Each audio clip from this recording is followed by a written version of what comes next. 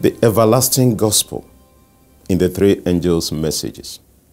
Just imagine a global news broadcast being sent out to every corner of the earth in every language for every people, everyone to hear.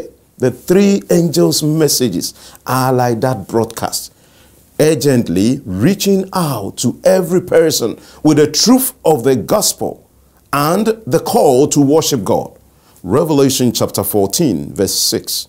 Then I saw another angel flying in midair, and he had the eternal gospel to proclaim to those who live on the earth, to every nation, tribe, language, and people. You know, the first angel's message proclaims the everlasting gospel to every nation, tribe, language, and people. This message is universal calling everyone to worship the Creator and prepare for His soon return. It is a message of hope, a message of warning, and a message of salvation.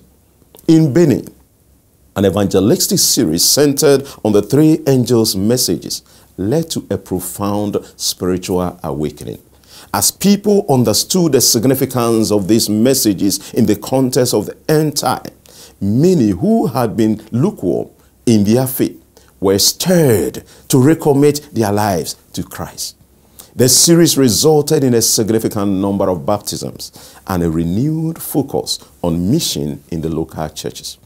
Ellen. White says, the three angels of Revelation chapter 14 represent the people who will accept the gift, the light of God's message, and go forth as his agents to sound the warning through the length and breadth of the earth. Testimonies for the Church, volume 5, page 455. Friends, I want to encourage you today.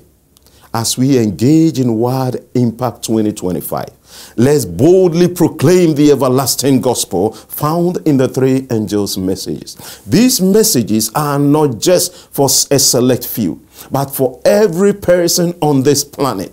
Let's take up the mantle as God's messengers, sharing his final warning and a call to salvation with the world. God bless you.